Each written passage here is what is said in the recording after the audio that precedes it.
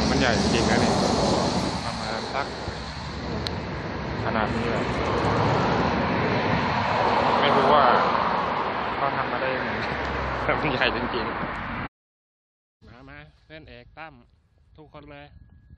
มากินเบียร์ออนไลน์กันนี่กูไม่ต้องแช่เย็นเห็นไหมทิมแดกแม่งแถวนี้แหละอย่าฟ้องสอทอนะเว้ยหมาย น้ำแข็งไม่ต้อง เย็นอัตโนมัติ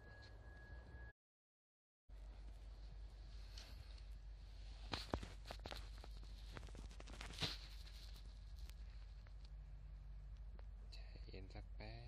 เดี๋ยวก็เย็นนี่เรามากินต่อ เห็นไหมบอกแล้วภารกิจกูยังไม่จบ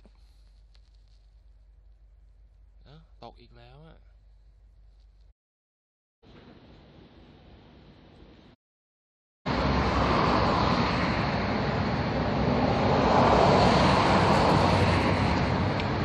ก็ รสชาติแต่ละกระป๋องแปลกไปเรื่อยคืออย่างนี้นะไอเบียร์ที่นี่มันจะแปลกกันตรงที่ว่ากระป๋องมันใหญ่กระป๋องละหนึ่งลิตร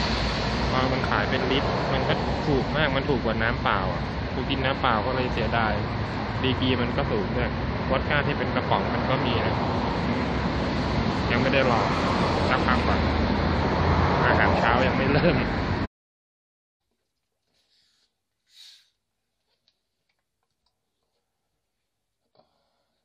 เหมาแล้วชีวิตทำไมเป็นอย่างนี้อืมจะเอ๋อื้อหือ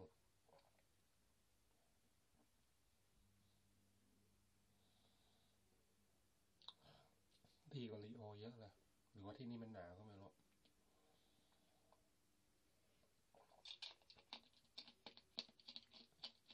มืองไทยเอา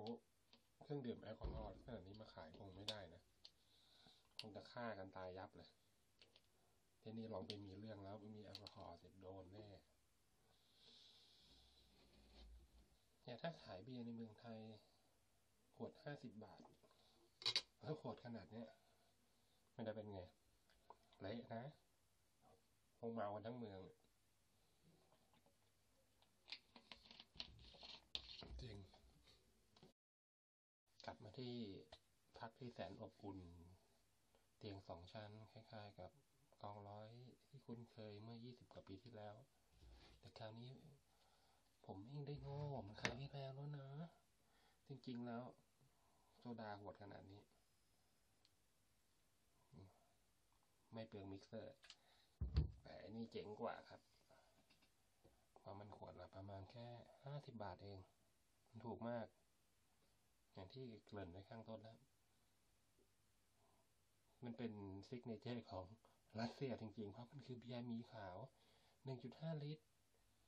ดีกรีของแอลกอฮอล์ก็เบียร์บ้านเราเนี่ยแหละดื่มกันมันนะดีกว่าน้ำเปล่าเยอะ เชื่อเถอะลองมาอยู่ที่นี่หนาวๆดูมั้งจับแช่เย็นซะเลย ตู้เย็นไม่ต้องลบสิบห้า